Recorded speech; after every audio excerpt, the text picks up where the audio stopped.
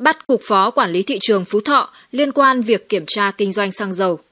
Công an tỉnh Phú Thọ đã bắt giữ một cục phó cùng 3 cán bộ thuộc Cục Quản lý Thị trường tỉnh Phú Thọ để điều tra vi phạm liên quan đến quá trình kiểm tra một vụ kinh doanh xăng dầu.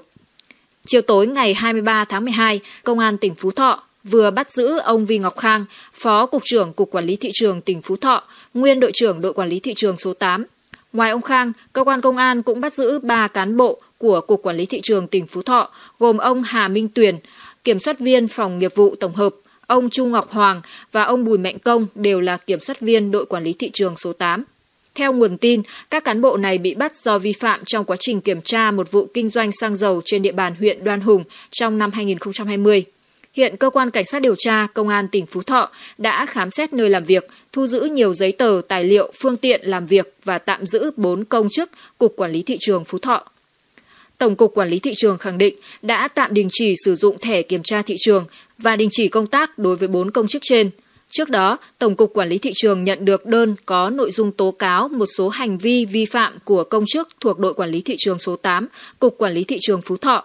Tổng cục Quản lý thị trường đã làm việc trực tiếp với Cục Quản lý thị trường Phú Thọ và các đơn vị cá nhân có liên quan về các nội dung được nêu trong đơn tố cáo, đồng thời phối hợp với Công an tỉnh Phú Thọ trong quá trình xác minh. Xin được tiếp tục với một thông tin liên quan đến vụ xét xử chùm đa cấp Lê Xuân Giang, công ty Liên kết Việt và đồng bọn lừa đảo chiếm đoạt tài sản của hàng nghìn người. Sáng nay ngày 22 tháng 12, Tòa án nhân dân thành phố Hà Nội tiếp tục phiên tòa sơ thẩm. Tại tòa, trùng đa cấp khai đã nhờ nhà sư làm giả bằng khen của Thủ tướng Chính phủ, sau đó tổ chức rình rang lễ đón nhận để tạo lòng tin. Xong việc thì các đối tượng này in ra treo ở khắp các văn phòng, chi nhánh trên toàn quốc. Tại tòa, Lê Xuân Giang, cựu chủ tịch hội đồng quản trị công ty Liên kết Việt khai, để có được bằng khen của Thủ tướng Chính phủ, ông ta nhờ nhà sư Phạm Văn Út tu hành tại chùa Linh Sơn, thành phố Hồ Chí Minh làm giả, cảm ơn 31 triệu đồng. Sau đó, bị cáo tổ chức hoành tráng việc đón nhận bằng khen nhằm khuếch trương hình ảnh, đánh lừa các bị hại để họ nhầm tưởng. Công ty Liên kết Việt là công ty kinh doanh đúng pháp luật, có lợi nhuận cao, có nhiều đóng góp cho nhà nước. Vẫn theo lời khai của đối tượng này, tiền thu được của khách hàng, ông ta dùng 61 tỷ đưa cho người khác mang đi đầu tư, dùng hơn 1,7 tỷ đưa cho người khác mua vàng để làm giải thưởng cho khách hàng. Không thừa nhận hành vi của mình là vi phạm pháp luật, bị cáo Lê Xuân Giang cho rằng mình đã tạo việc làm cho nhiều người và hệ thống đa cấp của công ty Liên kết Việt là sân chơi bình đẳng, mọi người cùng tham gia và được trả hoa hồng đầy đủ. Thưa quý vị và cùng với việc thuyết trình, quảng cáo tạo lòng tin sai sự thật về công ty Liên kết Việt, Giang và đồng phạm còn đặt ra nhiều chương trình thi đua khuyến mại kích cầu chạy song hành với việc chi trả hoa hồng. Vâng, sau khi triển khai các chương trình nói trên thì số người tham gia vào hệ thống của Giang tăng chóng mặt. Tiền thu được từ mấy chục tỷ tăng lên hàng trăm tỷ và rồi hàng nghìn tỷ chỉ trong một thời gian ngắn. Đến tháng 11 năm 2015, tổng số tiền Lê Xuân Giang và công ty Liên kết Việt đã thu lợi được từ những người tham gia vào mạng lưới đa cấp của công ty là hơn 2.091 tỷ đồng. Thưa quý vị và các bạn, Công an huyện Lệ Thủy vừa của tỉnh Quảng Bình đã vừa tạm giữ 5 nghi phạm trong vụ đốt cháy xe máy của cán bộ ban quản lý khu dự trữ thiên nhiên Động Châu, Khe Nước, trong đó để làm rõ hành vi phá hoại tài sản. Những người bị tạm giữ gồm Hồ Văn Quý, 32 tuổi, Hồ Văn Trí, 32 tuổi, Hồ Văn Vinh, 32 tuổi, Hồ Văn Khóa, 38 tuổi và Hồ Văn Vương, 34 tuổi, cùng chú tại xã Kim Thủy, huyện Lệ Thủy. Trước đó, tổ công tác của Ban Quản lý Khu Dự trữ Thiên nhiên Động Châu Khe Nước khi đi tuần tra rừng đã dựng 5 xe máy ven đường cạnh khu rừng tràm thuộc tiểu khu 495 xã Kim Thủy. Lúc quay lại thì họ phát hiện 5 xe máy đã bị đốt cháy, thiệt hại khoảng 120 triệu đồng. Ngay sau đó thì tổ công tác đã có đơn trình báo công an huyện Lệ Thủy và sau hơn một tuần điều tra, công an đã bắt nhóm đối tượng trên. Các nghi phạm bước đầu thừa nhận hành vi phạm tội của mình. Khoảng 7 giờ ngày 3 tháng 12 năm 2020, khi sang nhà để chở cháu đi học, anh Dương Văn Tâm, em chồng chị Lan phát hiện bốn mẹ con chị Trần Thị Thúy Lan, xã Đồng Trạch, huyện Bố Trạch nằm bất động trên giường ngủ. Kiểm tra nhanh, anh Tâm thấy hai cháu 9 tuổi và 4 tuổi đã tử vong. Chị Lan và người con út hơn 20 ngày tuổi hôn mê được đưa đi cấp cứu tại Bệnh viện Hữu nghị Việt Nam Cuba Đồng Hới trong tình trạng nguy kịch. Lực lượng chức năng phát hiện có 3 chậu than đốt đặt ở dưới giường ngủ để sưởi ấm. Bốn mẹ con vẫn còn nguyên chăn đắp. Thời điểm xảy ra vụ việc, phòng ngủ đóng kín. Hiện cháu nhỏ đang được lọc máu, còn chị Lan vẫn đang hôn mê sâu. Theo nhận định ban đầu, bốn mẹ con chị Lan đã bị ngộ độc khí than do dùng than để sưởi ấm.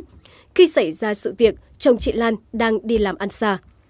Trước đó chỉ một tuần, ngày 25 tháng 11, Bệnh viện Đa khoa Nghệ An đã tiếp nhận 4 bệnh nhân cấp cứu trong tình trạng đau đầu, tức ngực, khó thở. Cũng thời điểm trên, tại Hà Tĩnh, 6 bệnh nhân ở huyện Cẩm Xuyên và Kỳ Anh cũng nhập viện trong tình trạng hôn mê, trụy mạch. Tất cả các ca cấp cứu này đều cùng một nguyên nhân do thời tiết rét nên gia đình đã đóng kín cửa rồi đốt than sưởi ấm, sau đó bị hôn mê trên giường.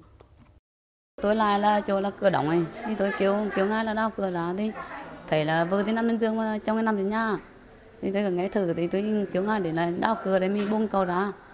Theo Bệnh viện Đa khoa Hà Tĩnh, từ năm 2017 đến 2019, bệnh viện đã tiếp nhận tổng cộng 10 bệnh nhân nhập viện do bị ngộ độc khí than, trong đó có một trẻ em tử vong. Còn tại Nghệ An, liên tiếp trong 4 năm, từ năm 2016 đến 2019 đều xảy ra tình trạng ngộ độc khi dùng than sưởi ấm. Tại Quảng Bình cũng ghi nhận hàng chục ca cấp cứu trong tình trạng nguy kịch, trong đó có nhiều trường hợp tử vong trong 3 năm gần đây.